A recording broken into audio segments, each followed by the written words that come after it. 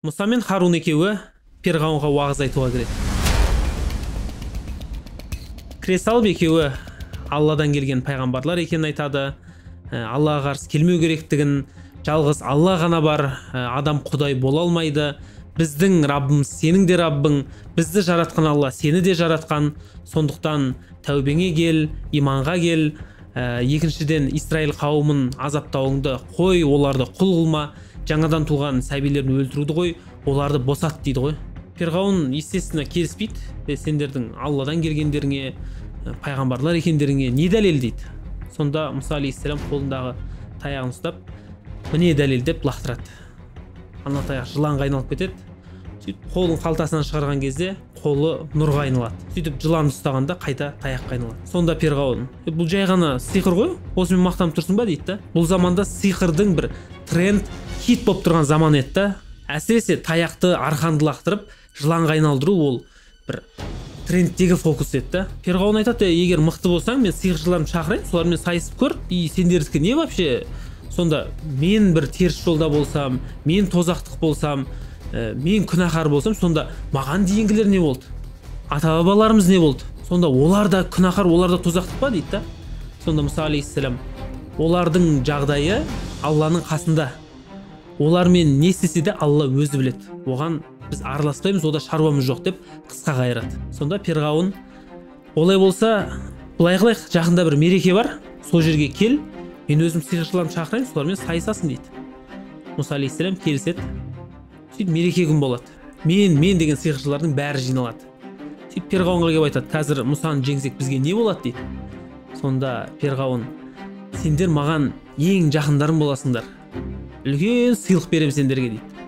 Сиқыршылар бірден келіседі. Сөйтіп мұса алейхисалам келеді. Сиқыршылар мұсаға қарап тұрып сен лақтырасың ба әлде біз лақтырайық па? дейді. То есть жаңағыдай лақтырып жыланға кім айналдырады бірінші болып дейді ғой. Ә, сонда мұса сендер бастаңдар дейді. Жаңағы талпа сиқыршы тұрады да арқандарын таяқтарын лақтырғанда аналар сұмдық жыландарға айналады ғой енді. Қарап отырған көрерменнің бәрі таң қалады. Және қорқа бастайды. Бұны құранда бір үлкен сиқыр деп атайды да. Тіпті мұсаның өзі сескеніп қалады. Енді ойлаңызшы сиқыршылар тұрып лақтырып ана жерде енді сұмдық бір сенсация қылып жатыр да. Мұсаның жүрегінде қорқыныш сезіледі. Алла қорықпа қолыңдағыны лақтыр дейді. Сонда мұса алейхисалам қолындағы таяқты лақтырған кезде ана таяқ енді өте үлкен айдаһар жыланға айналады ғой ол айдаһар жылан ана сиқыршылардың бүкіл жыланын жұтып қояды. Бүкіл халық перғауын бәрі таң қалады сиқыршылар қорыққаннан бірден сәжде жасап мұса мен харунның раббысына иман келтірдік дейді. Неге? Олар неге олай қорқып кетті? Себебі сиқыршылардың осы уақытқа дейін жасап жүргені ол таяқты арқанды жыланға айналдыру емес. Олар жай ғана таяқ арқандарды лақтырады сөйтіп адамдарға гипноз жасайды. Ана таяқ арқандар жерде жатады. Бірақ адамдар оны жылан қылып көреді да. Сиқыршылар соған прикол ұстап қарасай деп адамдарды мазақтап тұрады да. Бірақ мұса таяғын лақтырған кезде оның таяғы шынында жыланға айналды. Енді мұсанікі де ол жай ғана фокус болса оны сиқыршылар білетін еді да. Себебі фокустың секретін біліп тұр ғой. Сиқыршылар бірден алланы мойындайды да. Не то что мойындайды бірден сәжде жасап тәубеге келеді. Я раббым бізді кешір біз күнәһар екенбіз ә, біз адасыппыз үлкен күнә жасап қойыппыз. Егер сен бізді кешірмесең біз азапқа ұшыраушылардан боламыз деп ана жердегі бір ақ көрініс оларға қатты әсер етті да. Оларға тәкаппарлық кедергі келтірмеді да. Сол кезде перғауын қатты ашуланып сендер неге менің рұқсатымсыз иман келтіресіңдер? дейді да.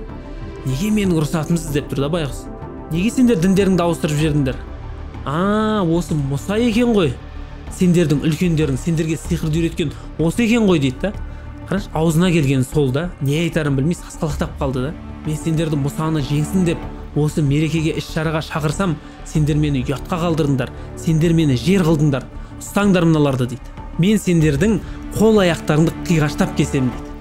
Яғни оң қолын кессе сол аяғын кесіп тастайды деген сияқты қиғаштап кесіп оларды құрма ағашына байлап азаптайды ғой. Оларға енді мұса алейхисалам арашалап ұстамайды бірақ ешқайсысын бұл азап діннен қайтармайды ғой. Соңына дейін тұрады сол жерде өліп кетеді. Былай қарап тұрсақ олар тәубе етті да алланың ақиқатын көріп бірден тәубе етті алла олардың тәубесін қабыл етті. Енді оған дейін жасаған күнәларын тазартып алла оларды шахид қылып жандарын алып қойды да. Өмірде де адам үлкен күнә жасап жүріп жасап жүріп бірақ алланың ақиқатын көрген кезде бірден тәубе етсе бірден аллаға қарай бұрылса алла оның өткен бүкіл күнәсін кешіріп жібереді да. Алла мейірімді кешірімді ғой. Ол сиқыршыларды да алла солай кешірді.